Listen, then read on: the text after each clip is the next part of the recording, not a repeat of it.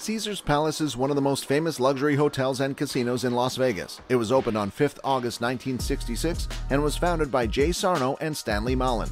Both sought to create an opulent facility that gave guests a sense of life during the Roman Empire. It has a 20-foot statue of Augustus Caesar near the entryway, as well as other statues, columns, and iconography characteristic of Hollywood Roman-era plays. The hotel contains 3,960 rooms and suites in six towers and a convention center with over 300,000 square feet. The hotel has a wide range of facilities, restaurants, and attracts some of the highest rollers. Hello everyone, welcome back to our channel. In today's video, we will show you 10 things about Caesar's Palace. Let's begin. Number 10. Hotel Rooms the hotel has rooms, villas, and suites, so if you want to just stay and relax, you can choose your favorite. The rooms offer various amenities such as minibar, 24 hours room service, and in-room massage service. One of their room attractions is their luxury villas. Their villas will take you to another level. If you stay in one of these magnificent Las Vegas villas, you'll feel like you're the emperor of your own private estate for the duration of your trip. Enjoy luxuries such as butlers that speak your language, private elevators, airport limo transfers, fireplaces, private patios, spa pools, and more. They have over-the-top amenities like indoor fountains, fireplaces, grand pianos, marble baths, private patios with spa pools, fitness rooms, steam showers, billiard rooms, wet bars, and more. Number 9. Restaurants Caesar's Palace has various options when it comes to food, so if you are a foodie or a picky eater, you don't have to worry while staying here. The hotel has food courts, Starbucks, a grab-and-go pastry shop by Michelin star chef Guy Savoy, 10 restaurants which include two from chef Gordon Ramsay. If you are a big fan of Gordon Ramsay Hell's Kitchen Show and always wanted to see the whole service, then you can book yourself a table there. The restaurant is located in front of Caesar's Palace, just off the strip, and was opened in 2018. The 8,000 square foot building features two bars, two dining rooms, seating for 300 people, and floor to ceiling windows with the Las Vegas Strip.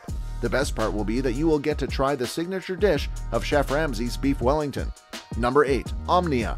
If you are a fan of nightlife, then you would want to experience the nightlife of your lifetime in Omnia. Omnia is a 75,000 square feet nightclub, a sensuous ultra lounge, a high energy main room and mezzanine, as well as a beautiful rooftop garden with panoramic views of the Las Vegas Strip are all part of the multi-level facility. The main area of Omnia has multiple layers, a spacious dance floor, antique mirrors, and rich leather chairs, all of which are set against a massive dynamic LED chandelier that rises, falls, morphs, and alters to the beat of the night. The patio, which looks out over the famous Las Vegas Strip, takes guests to a magnificence of an outdoor retreat with a dash of technological wonder. Open air meets modern luxury with embedded lights in glass floor tiles throbbing to the beat from the LED-laced DJ booth. Number 7. Opening of Caesar's Palace Caesar's Palace's three-day grand opening celebration cost $1 million. More than two tons of filet mignon, 50,000 glasses of champagne, and 30,000 fresh eggs were devoured by the 1,800 guests. The event also included the world's biggest order of Ukrainian caviar. Cocktail waitresses in Greco-Roman wigs would greet guests and say, Welcome to Caesar's Palace, I am your slave, and Andy Williams and Phil Richards were the performers at the opening. The new hotel's substantial publicity has garnered $42 million in advance bookings by the time it opened. Number 6. Jay Sarno's big idea involved piranhas. Jay Sarno was the developer, hotelier, and casino owner from the U.S.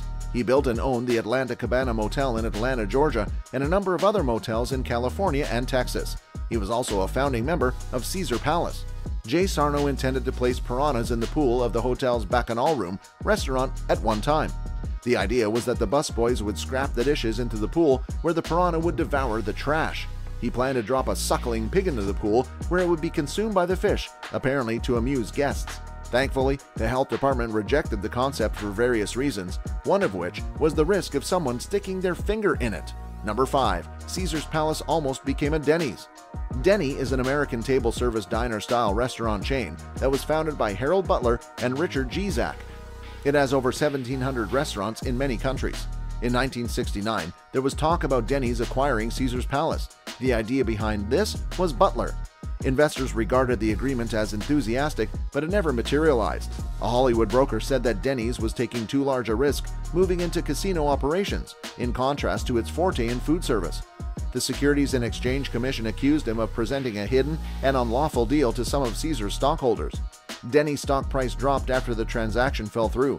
Butler resigned as chairman in 1971 after selling his Denny shares, which had formerly been worth $80 million. Number 4. Caesar's Palace was named after Julius Caesar.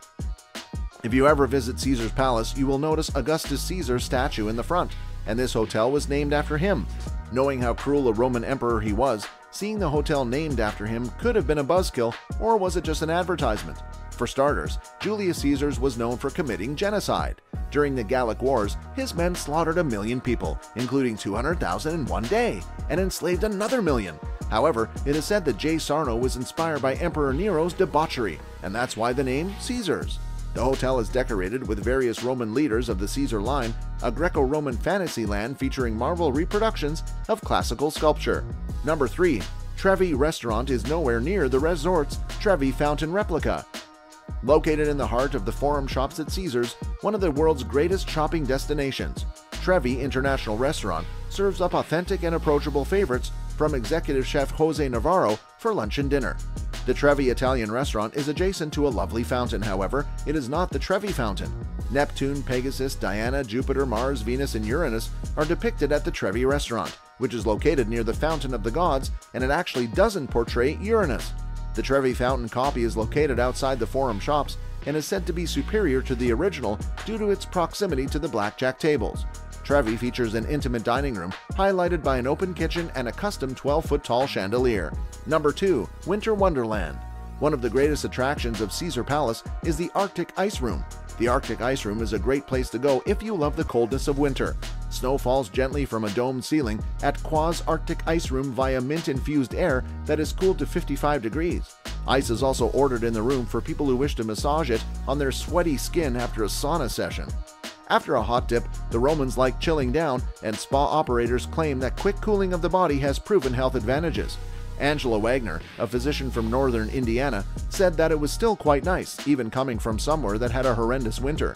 She also said that the experience was extremely pleasant after being in the warmer treatments.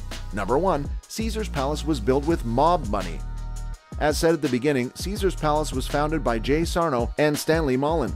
Jay Sarno and Stanley, operators of a Cabana hotel, asked for a $10.6 million loan from the Teamsters Central States Pension Fund in 1962, and this fund was sometimes referred to as the Mob's Bank. Jimmy Hoffa, the union head, was the source of the mob's funds. Sarno would subsequently serve as the architect for the hotel he wanted to build. His goal was to recreate life as it was under the Roman Empire. The purpose of the palace was to create an ambiance that made everyone who stayed at the hotel feel like a Caesar. As a result, the name Caesar's Palace does not include an apostrophe, making Caesars plural rather than a possessive word. Hope you enjoyed the video. Which of these top 10 things did you find interesting? Let us know in the comment section. Give us a like, share, and subscribe. Thanks for watching, and we'll see you in the next video.